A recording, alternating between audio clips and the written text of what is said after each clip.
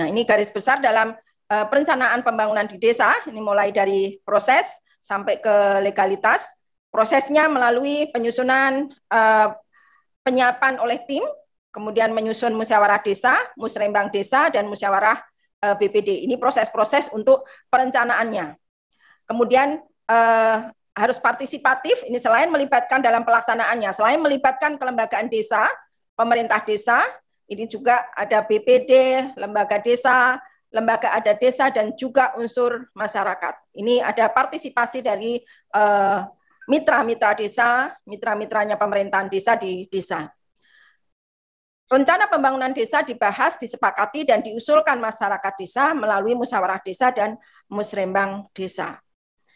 Kemudian rencana pembangunan desa disusun dalam bentuk perdes, RPJM desa, dan RKP desa. Tentu saja kalau nanti sudah diputuskan dalam musyawarah desa, uh, sudah terbentuk RPJM desa, RKP desa, ini uh, sekali lagi jangan hanya uh, seremonial, jangan hanya yang penting ada RPJM desanya, yang penting ada RKP desanya, tapi ini benar-benar nanti dibentuk secara legalitasnya ada perdesnya. Nah, perdes inilah menjadi uh, salah satu nanti pedoman dalam Bapak Ibu melaksanakan perencanaan sampai nanti ke uh, evaluasinya. Lanjut. Nah, penyusunan RPJM desa, ini uh, rancangan RPJM desa memuat visi misi kepala desa, arah kebijakan pembangunan desa, serta rencana kegiatan yang meliputi bidang penyelenggaraan pemerintahan desa, pelaksanaan pembangunan desa, pembinaan kemasyarakatan desa, dan pemberdayaan masyarakat. Penyusunan RPJM desa dilaksanakan dengan mempertimbangkan kondisi objektif desa dan prioritas program dan eh, kegiatan dari kabupaten kota. Nah, ini yang yang Bapak Ibu sekalian uh, ada uh, area-area risiko yang selama ini sering terjadi Bapak Ibu sekalian yang memang di RPJM desa tidak ada kemudian tiba-tiba muncul di dalam RKP desa.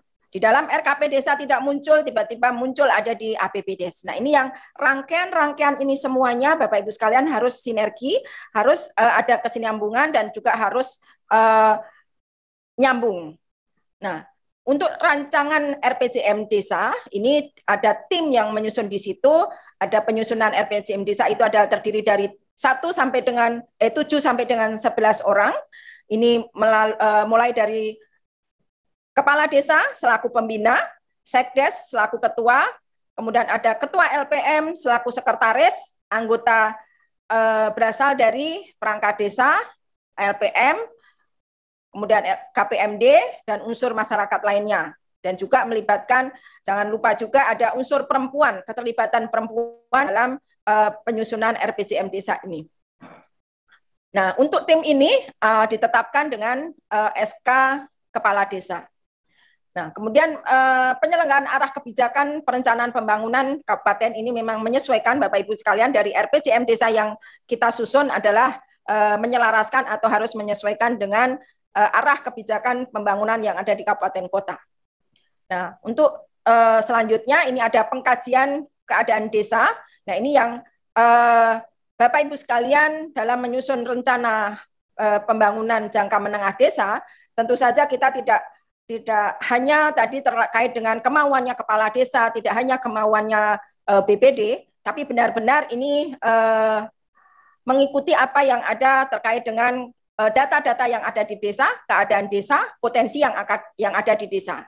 Nah, pengkajian ini dilakukan oleh tim penyusun eh, kegiatan eh, pengkajian desa meliputi penyelenggaraan pemerintahan desa, kemudian penggalian gagasan masyarakat, penyusunan laporan hasil pengkajian keadaan desa, kemudian penggalian gagasan dilaksanakan melalui musyawarah desa.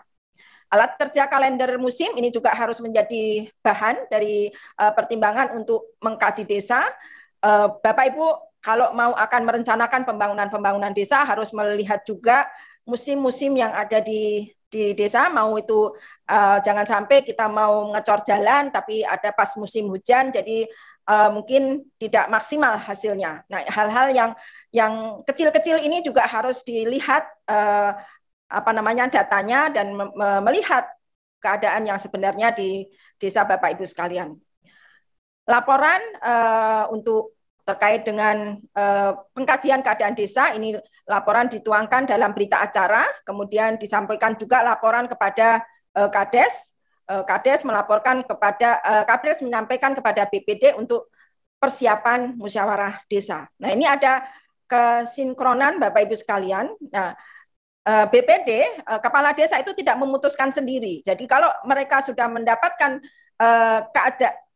keadaan dalam pengkajian keadaan desa, kepala desa itu menyampaikan kepada BPD dan BPD untuk menyiapkan untuk melaksanakan musyawarah desa.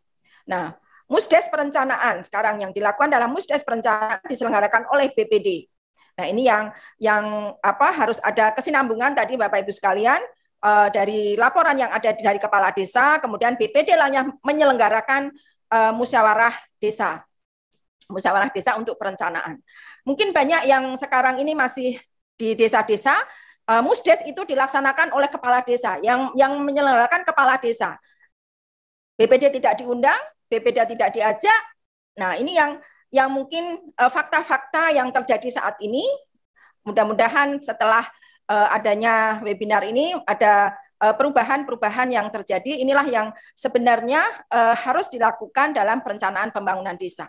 Nah, dalam melaksanakan musyawarah desa yang diselenggarakan oleh BPD itu adalah membahas dan menyepakati laporan hasil pengkajian desa, rumusan arah kebijakan pembangunan desa yang dijabarkan dari visi misi kepala desa dan rencana prioritas kegiatan.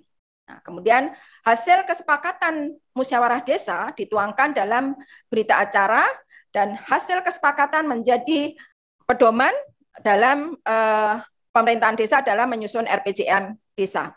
Nah, ini yang Bapak Ibu sekalian sekali lagi berita acara-berita acara ini juga harus ada baik ini di lingkup di intern dari BPD itu sendiri karena ini juga akan menjadi uh, penelitian ataupun bahkan nanti arsip di di arsip di BPD itu sendiri uh, arsip terkait dengan musyawarah desa dalam perencanaan. Jadi kalau nanti uh, di pengawasan kinerja kepala desa dalam uh, evaluasinya, dalam uh, mengawasi itu harus berpedoman pada hasil-hasil uh, dari musyawarah desa ini.